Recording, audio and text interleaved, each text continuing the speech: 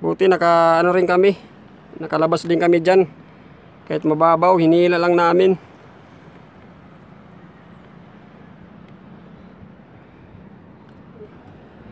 Yun ang mahirap sa amin dito kasi ano.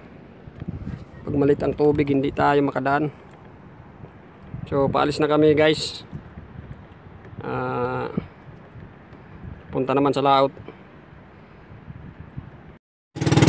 Hi guys, ah, good morning. Welcome back sa KFC Kunsuki Fishing Channel. Ah, natanghali tayo ngayon pag-alis punta sa laot. Tinanghali ng bunot yung kasama ko. Hey! Tinanghali ng bunot. Ah, yun ang ano, naging dahilan.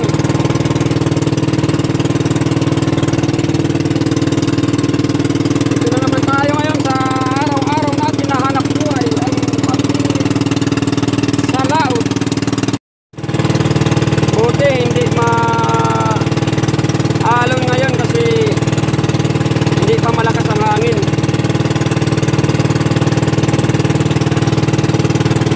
Maya-maya nito mga kanghali. Lakas ng hangin.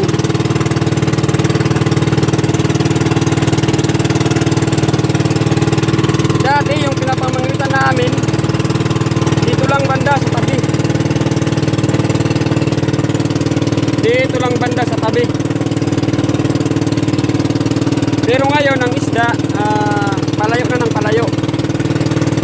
Kasi malapit na sila mag ano. Yung kinakain kasi nila na isda, pumupunta na sa malayo. Kaya sumasama sila. Minsan yung pagkain nila, kapadpad, sumasama sila. Kaya susundan, susundan namin sila. Kahit saan sila magpunta. Nahantingin namin yung mga isda, yung mga bisugo.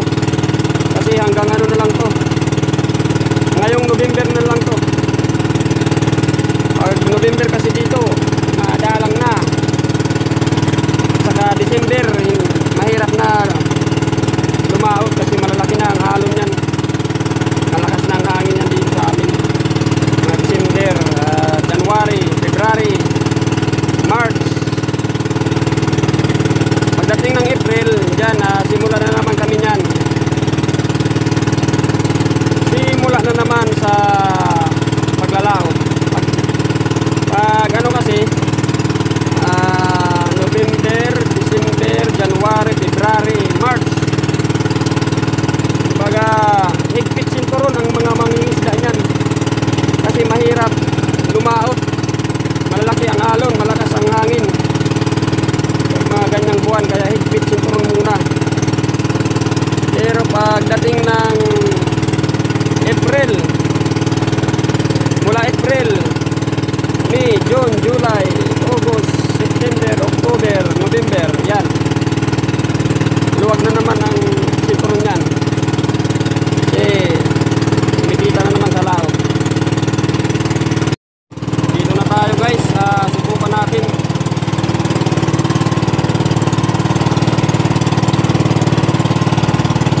Subukan natin dito.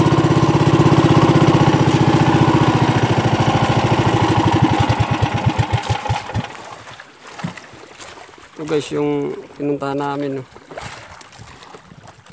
Yan guys, ah, isla lang yan na maliit. Isla na maliit. Ah, doon kami galing oh. Subukan namin dito. Ito yung sayo. Ah. sayo yan. Yan ang gamitin mo. Para Nasa sima mo. ha? Nasa. Mamaya ah, lagyan natin ng ano yan, sima kasi natanggal yan, kinit ah, inano ng butiti. Kinain ng kaw- ang kawil ng butiti nung nakarang araw na ang isda.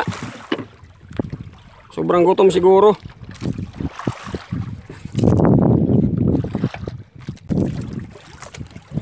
Ang pangalan mo?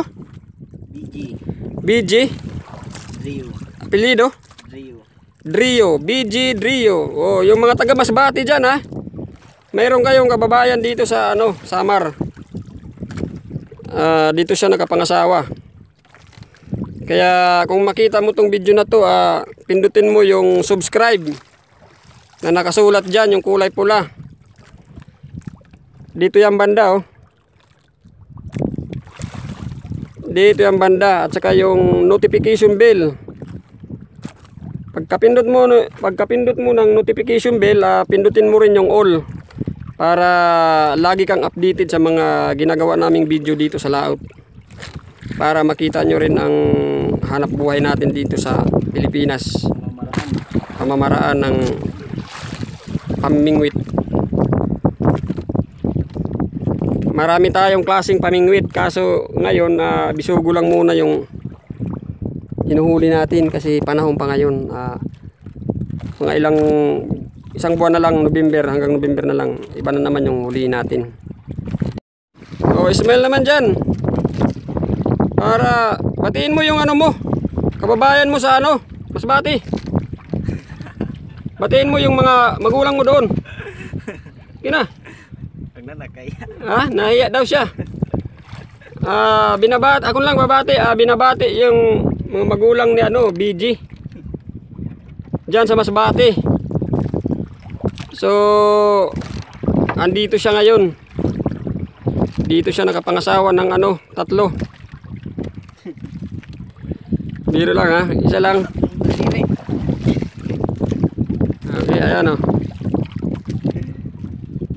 So, binabati niya yung mga kapatid niya dyan sa Masbati. Saan sa Masbati? Masbati, Pulot. Ano yung bayan, barangay? Bayan. Bayan ng Pulot, Masbati City, Philippines. So, nandito kami ngayon sa Northern Samar.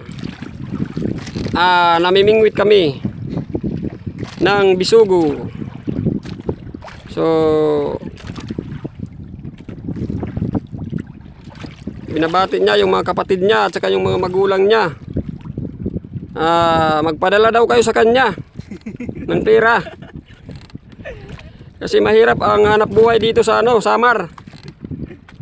Pag walang gawa, construction, tambay. Buti pag ano ganito malinaw. Tahimik ang dagat, ah, pwedeng mag-extra-extra. Ganon din yan sa mga maglalaot. Pag masama ang panahon, tambay rin. Kaya dapat talaga hindi lang isa yung pinagkakitaan natin. Dapat may reserba.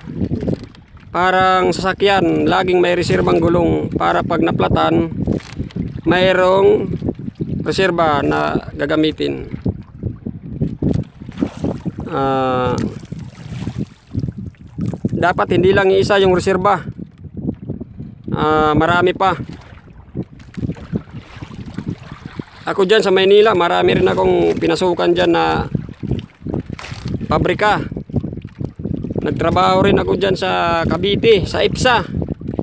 Rosario Cavite, ah, Mananahi. Mananahi ako dyan sa mga pabrika. 5 years ang experience ko dyan.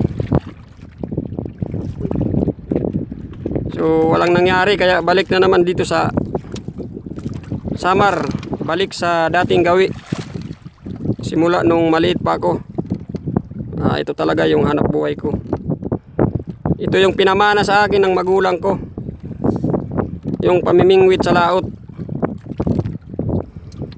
So, nandito raw ang maraming kayamanan. Marami daw ano, langis. Kaya pinag-isipan ko ngayon kung paano yan sisirin. Paano yan kunin na langis dito sa dagat. Kasi yon daw yung kayamanan, yung na sinabi sa akin ng magulang ko. Kailangan sisirin daw yung langis para ka umasinso. Kasi kung aasa ka lang daw sa bisugo, eh walang mangyayari. Maghihirap tayo niyan. Okay sana kung laging ano, ah, laging nakahuli ng ano, ah, tuna. Yun, dito sa mga katabing bayan namin, katabing barangay. Ah, tuna yung hinuhuli nila. Kaya yung iba umasinso. Kaya baka sa susunod na buwan, ah, pag tumama ako sa loto, makabili ako ng bangka na malaki. Ah, bibili ako niyan para doon ako sa malayo, doon sa Pasipiko talaga. Doon ang maraming tuna. Dito sa tabi-tabi, ah, ano lang, bisugo. Ito rin yung nahuli niya, oh. Ito, anong isda to sa inyo, guys? Dito sa amin, ang tawag nito, ah, bilanghoy. Kamuting kahoy. Talho. Yan guys, oh. Yan yung pinunta namin.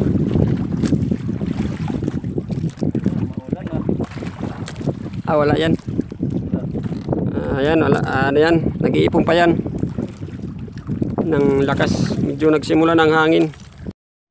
Guys, ah, break time na? Kakain muna kami. Tara, kain tayo. Masarap ang ulam namin, litson. Litson sa dagat. Kain na tayo guys. Ito may sili. Ang ulam natin kinilaw. Tsaka yung kasama ko mayroong ano. Manok. Itlog ng manok.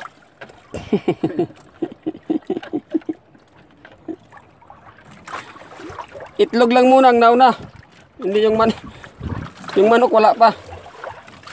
Hindi na pinalaki kay matabaho. Mm. Malaki na, magbabalahibo ka pa. Ito guys oh. Mm, kain tayo. Ito yung ulam oh. Masarap kumain dito sa dagat. Mm. Ito ang buhay ng mga mangingisda dito sa dagat. Eh, ang pangarap sana namin, seaman. Makasakay sa barko nung mga bata pa kami. Kaso nung tumanda na, yung barko naging ano na lang, bangka. Naging bangka na lang. Kaya, ayan ang nangyari.